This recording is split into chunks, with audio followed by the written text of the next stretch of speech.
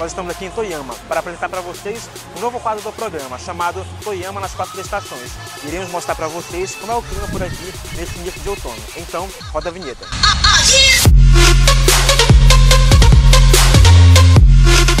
A nossa jornada de hoje começa pelo castelo de Toyama.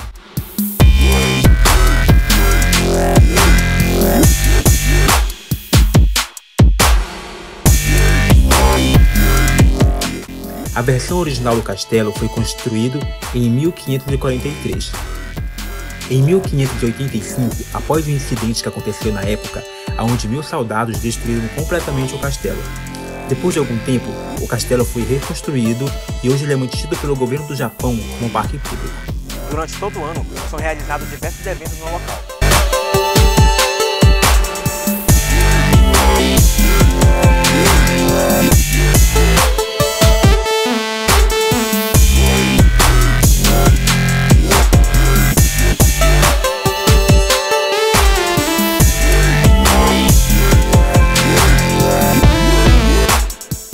E no interior do castelo tem um museu que relata toda a história do local. E do lado de fora tem um amplo lugar servindo como área de lazer para os visitantes do local.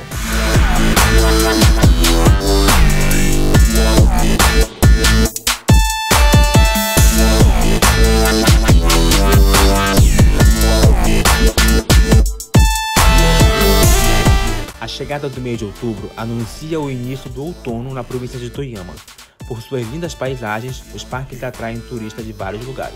E devido à inauguração do Shinkansen, do trem-bala da região, o número de turistas tem aumentado na região a cada dia.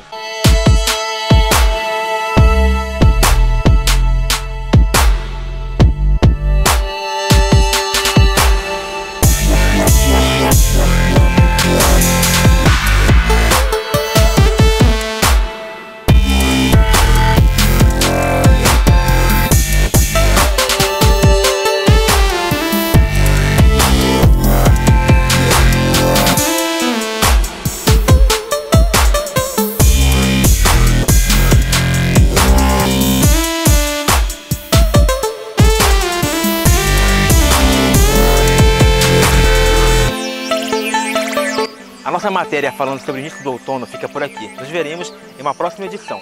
Então, um forte abraço e até mais.